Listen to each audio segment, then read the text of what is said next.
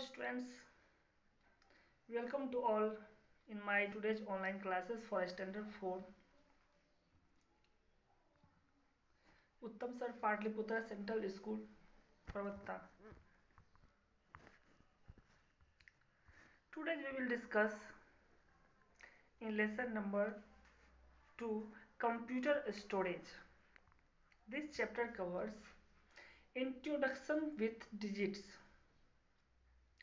to major memory to know primary and secondary memory इस chapter में हम ये थ्री पॉइंट आपको थ्री पॉइंट से इंट्रोड्यूस करवाएँगे। First introduction with digits second to major memory and third to know primary and secondary memory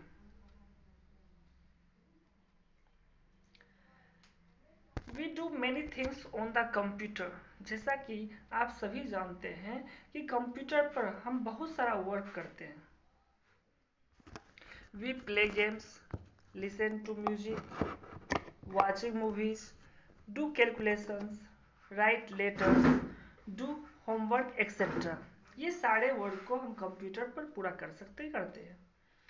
we can send और receive message on it हम किसी को मैसेज सेंड और रिसीव भी कर सकते हैं कंप्यूटर की सहायता से।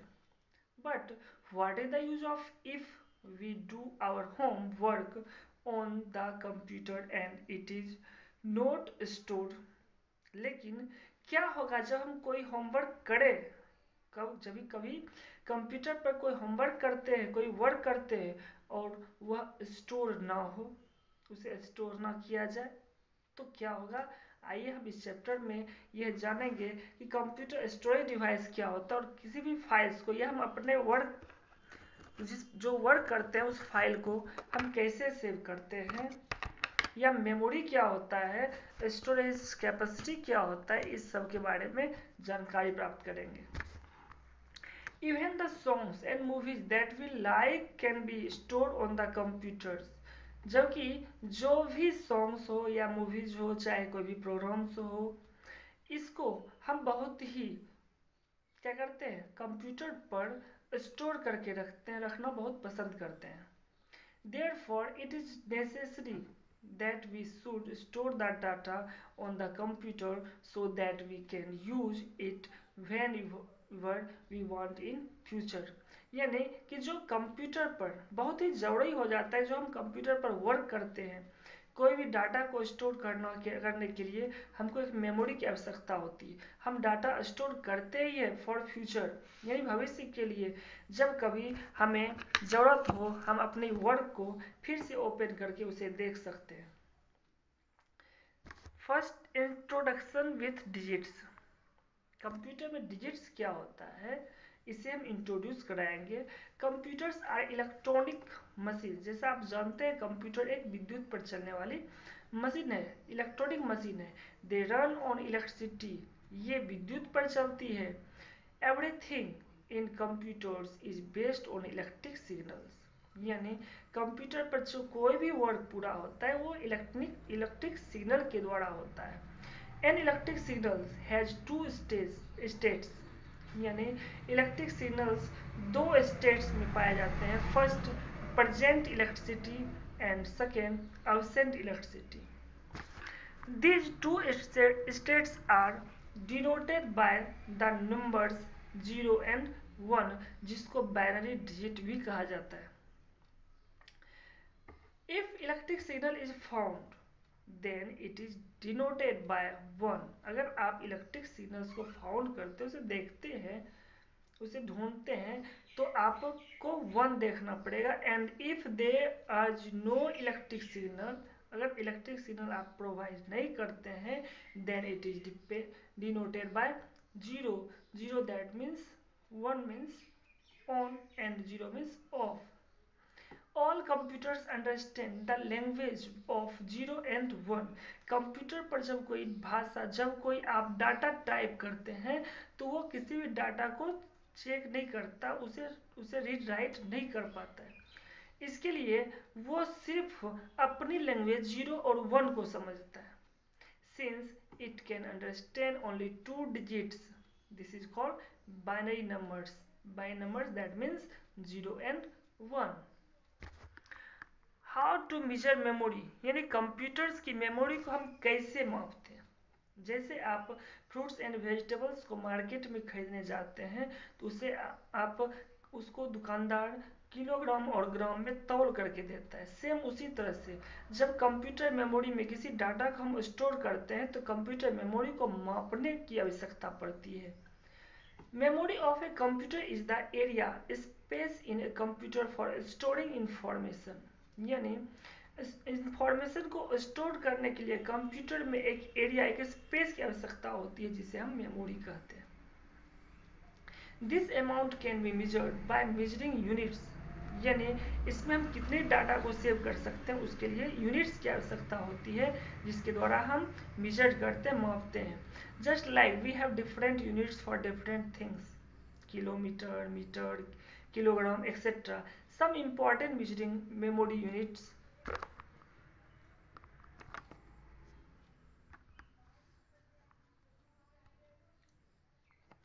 First eight bits यहाँ पर कुछ मेज़रमेंट यूनिट्स दिया हुआ है, जिसकी सहायता से हम किसी भी कंप्यूटर मोड़ी को माप सकते हैं।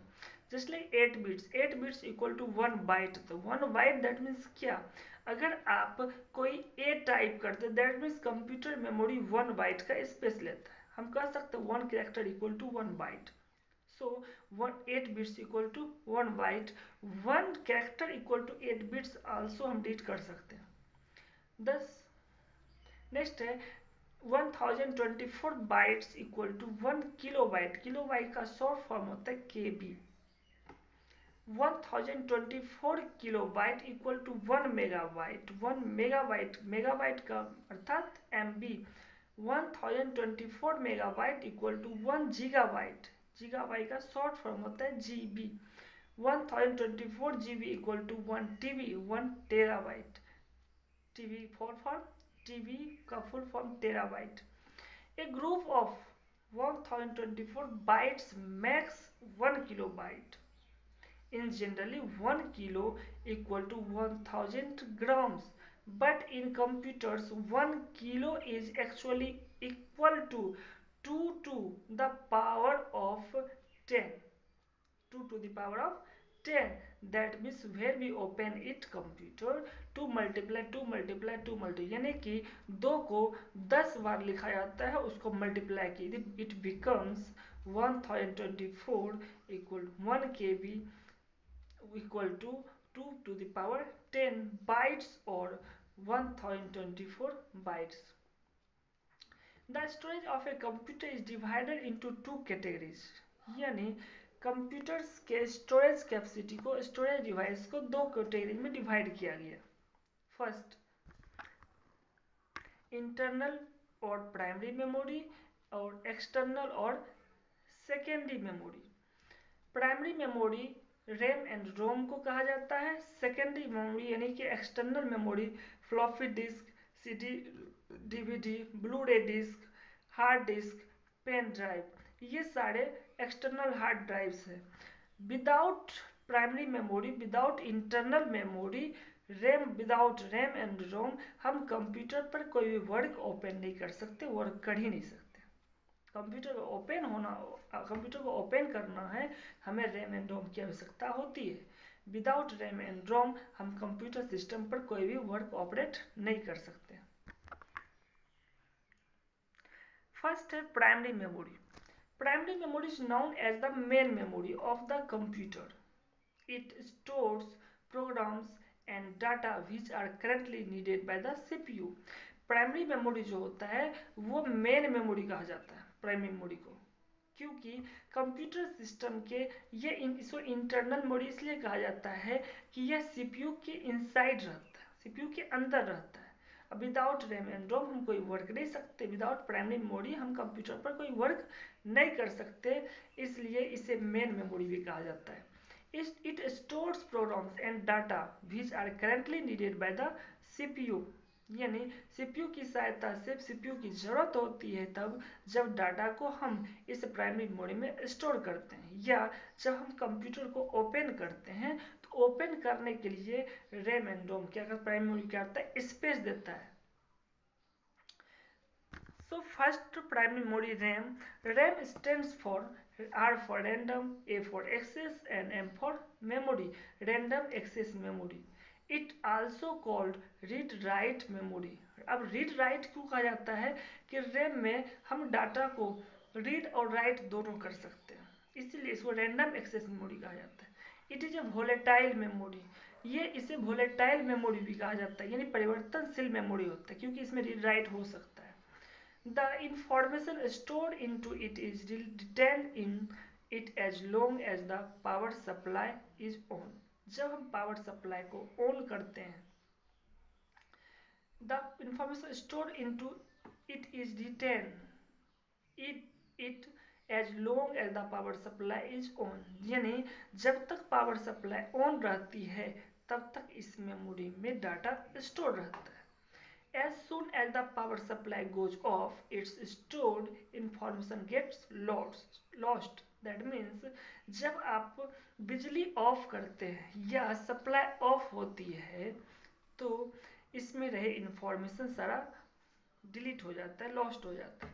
It is a temporary memory use as a scratch pad इसे टेम्प्रोरी मेमोरी भी कहा जाता है जिसका इस्तेमाल हम स्केच पैड पर भी कर, करते हैं। When we draw some drawing और type some text it gets store in RAM. जब हम किसी डाटा को या कोई भी टेक्स्ट ड्राइंग करते हैं, टेक्स्ट टाइप करते हैं या कोई ड्राइंग करते हैं तो ये स्टोर करता है डाटा को रैम। सेकेंड है ROM. ROM stand for read only memory read only memory that means इस मेमोरी में सिर्फ़ डाटा को रीड किया जा सकता है राइट नहीं किया जा सकता, ना इसे इरेज कर सकते। It holds the data permanently यह किसी भी डाटा को परमानेंटली होल्ड्स करता है सेव करता है। This memory is non volatile in nature ये अपरिवर्तनशील होते दैट मीन्स इस मेमोरी में रह रहे प्रोग्राम्स या विंडोज़ या कोई अदर्स डाटा इसको हम परिवर्तन नहीं कर सकते। The instruction stored in ROM can not be change and are not lost when the computer is switch off. यानी अगर आप कोई प्रोग्राम ओपन करते हैं, इसमें रखे हुए फाइल्स को ओपन करते हैं तो अगर स्विच ऑफ़ भी हो जाता है तो इससे कोई डाटा लॉस्ट नहीं होता है, कोई डिलीट नहीं होता है। This memory generally provided in the computers यह मेमोरी जो होता है, सारे कंप्यूटर में जनरली प्रोवाइड होता है। विदाउट इसके कोई वर्क नहीं पूरा किया जा सकता।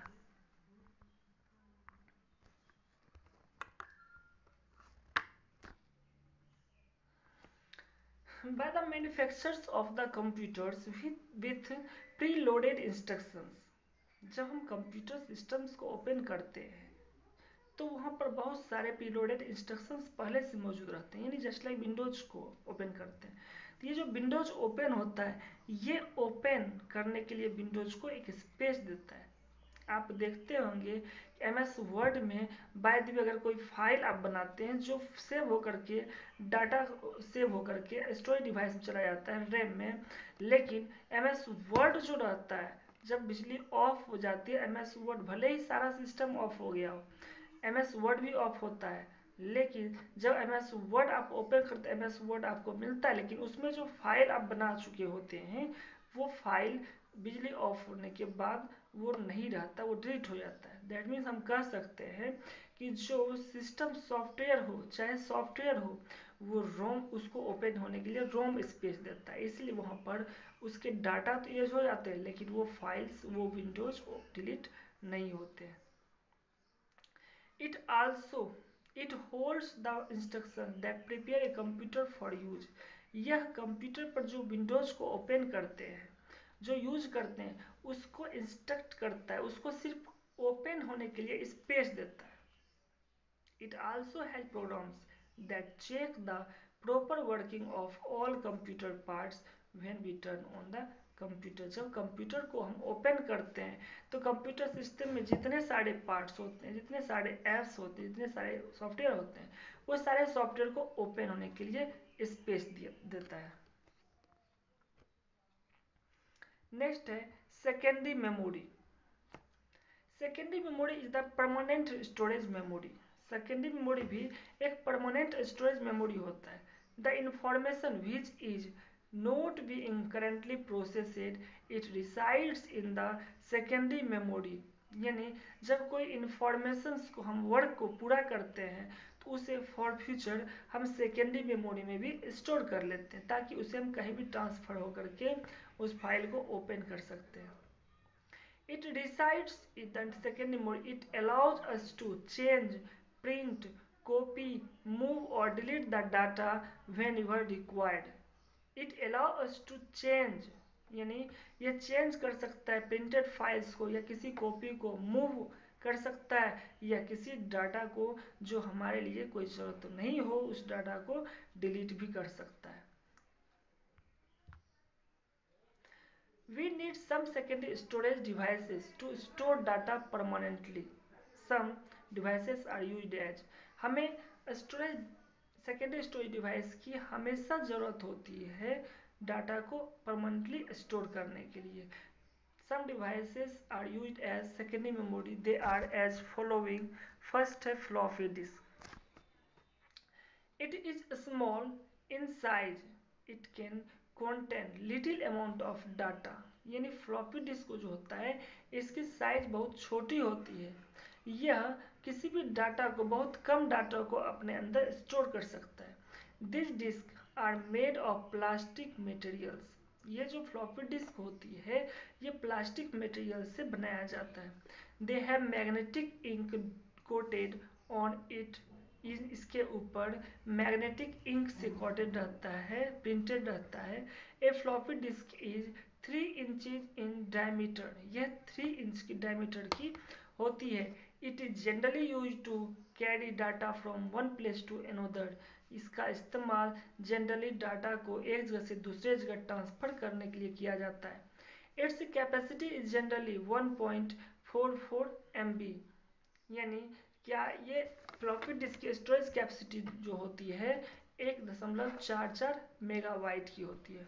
A floppy disk inserted into floppy drive to retrieve store data यानी एक फ्लॉपी डिस्क का जो इस्तेमाल किया जाता है, किसी भी ड्राइव को रिट्राइव स्टोर डाटा को स्टोर डाटा को रिट्राइव करने के लिए या उसको स्टोर करने के लिए for future floppy disk are more prone to damage यानी अगर फ्लॉप डिस्क को हम कुछ दिन, ज़्यादा दिन रख देते तो वो उसके डाटा डैमेज हो जाते हैं।